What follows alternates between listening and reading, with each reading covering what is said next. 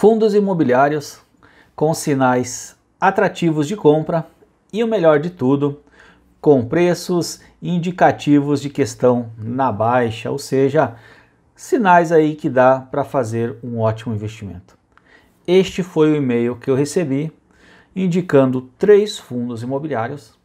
Eu decidi então dar uma paradinha, dar uma conferida e fazer esse vídeo compartilhando uh, o meu ponto de vista, os meus estudos, para você saber aí se você deve investir em fundos imobiliários e o melhor de tudo, quais são os melhores fundos imobiliários.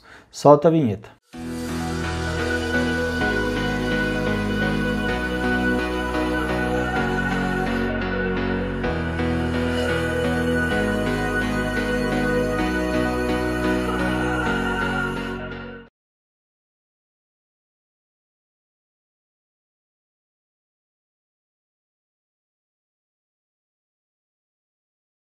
Olá, seja bem-vindo ao canal, com vocês Peterson Siqueira.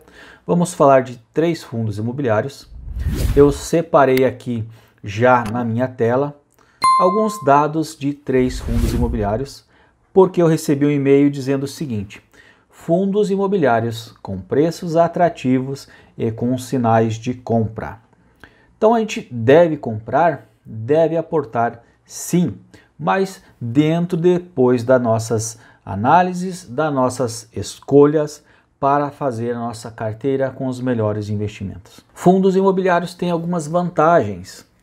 Uma delas é o pagamento de proventos mensais, isenção de imposto de renda no recebimento dos dividendos, tem menos volatilidade do que ações. É lógico que estamos falando de renda variável. Os preços então oscilam. E dá para ter fundos imobiliários, dá para ter imóveis físicos, dá para ter renda fixa e dá para ter ações.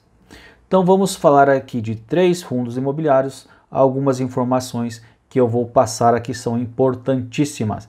Então fica comigo neste vídeo até o final.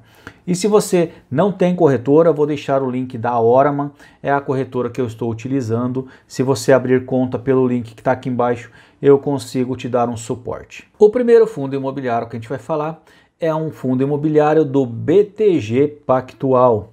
A gente vai falar do BRCR11, fundo imobiliário do BTG Pactual. Este fundo imobiliário está custando R$ 85,19. Então tem liquidez diária de 31,347.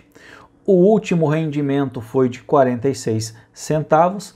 Então, ou seja, se você compra uma cota que custa 85 reais, no outro mês você já recebe 46 centavos.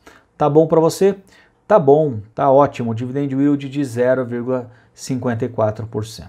Tem um patrimônio líquido de 2,9 bilhões e um valor patrimonial de 107,50. Vamos ver aqui um pouquinho das características desse fundo. O BRCR11 é um fundo imobiliário do tipo de tijolo, ou seja, seus investimentos têm como base principal empreendimentos imobiliários. O valor inicial da cota foi de 100 reais, ou seja, quem comprou lá no lançamento está perdendo dinheiro porque comprou a 100, hoje está valendo 85 reais. Tem uma taxa de administração de 0,25% e tem prazo de duração indeterminado.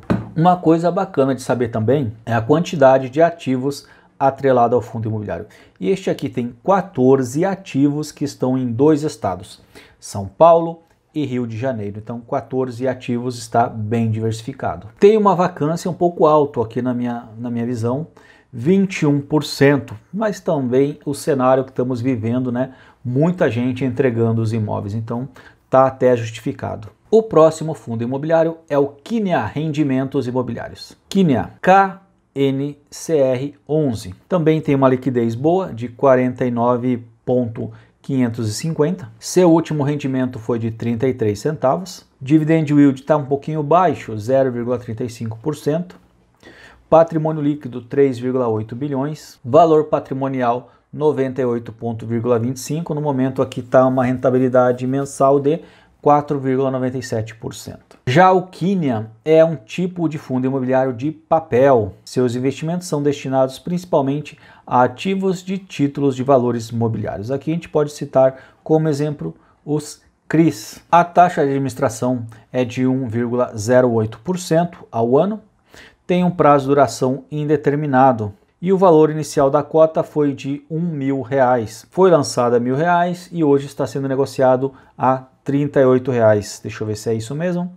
93 reais. Então foi lançado a mil reais e agora está a 93 reais que aconteceu, Peterson? Será que caiu tudo isso? É que nesse caminho a, as ações, como os fundos imobiliários, podem fazer desdobramento. Depois eu vou dar uma olhada aqui a data que isso ocorreu, mas com certeza houve algum evento que foi lançado através aí de divulgação ao mercado, algum é, é, evento relevante que fez que a ação esteja sendo negociada nesse valor de 93 reais. Tendo em vista que é um fundo de papel, não tem imóveis atrelado a ele, então tem papéis. Pode ser LCI, letra de crédito imobiliário, pode ser CRIs, então tem ali papéis, então não tem aqui uma vacância específica nesse fundo imobiliário. Vamos ver agora o próximo fundo imobiliário. Vamos falar do XP Industrial. XPIN11 é o código de negociação.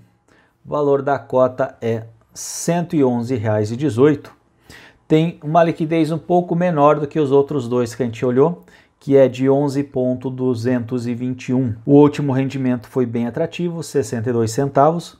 Dividend yield 0,55%. Patrimônio líquido 730 milhões. Valor patrimonial 110,70 e uma rentabilidade no momento aqui negativa de menos 2,8%. XPIN11 é um fundo imobiliário do tipo de tijolo, mais um aqui de tijolo. Seus recursos são prioritariamente destinados à aquisição de empreendimentos imobiliários de galpões, estamos, estamos falando de galpões. Tem uma taxa de administração de 7,25%, pouco alta aqui na minha visão, é o prazo de duração indeterminado. Tem cinco ativos na carteira em um estado, que é em São Paulo. Então, cinco galpões aqui no estado de São Paulo. Por exemplo, aqui tem galpão em Atibaia, São Paulo, Jarinu, São Paulo, Jundiaí, São Paulo, mais outro em Atibaia e mais outro em Jundiaí. Então, estão aí nesses locais. Tem uma, uma vacância de 7%, é considerada até normal para o segmento de galpões, então não está sofrendo tanto quanto os shoppings, que estão com uma vacância muito mais alta. Agora eu te pergunto aí, qual desses fundos imobiliários você acha o melhor, o mais atrativo? Comenta aqui para mim, sou Peterson Siqueira e bora ganhar dividendos.